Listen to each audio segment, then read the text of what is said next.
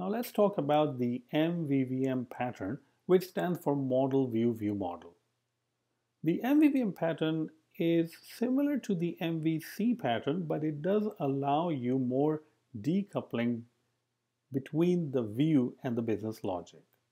Let's go ahead and see the different components of the MVVM pattern. The MVVM pattern consists of the view, obviously. It does have the view model, and the model.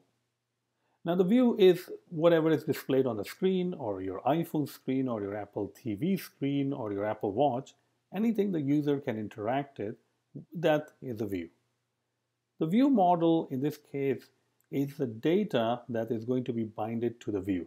So view can talk to the view model, but view cannot directly talk to the model. The model in this case is your domain, is your main objects that is your business logic. So the view can talk to the view model and view model can talk to the view and update the view, but view cannot directly talk to the model. Only the view model can talk to the model. And sometime you need to also convert the model into the view model to display it on the screen. Now let's take a look at a few of the examples.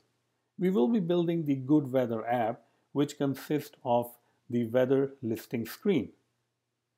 This whole screen can be represented by one view model and we can call it weather list view model. The other screen that we can implement can be called the settings screen.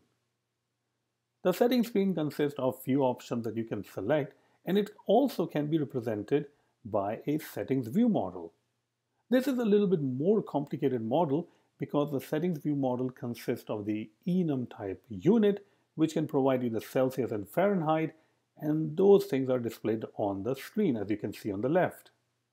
The settings view model is also responsible for persisting this information into the user defaults.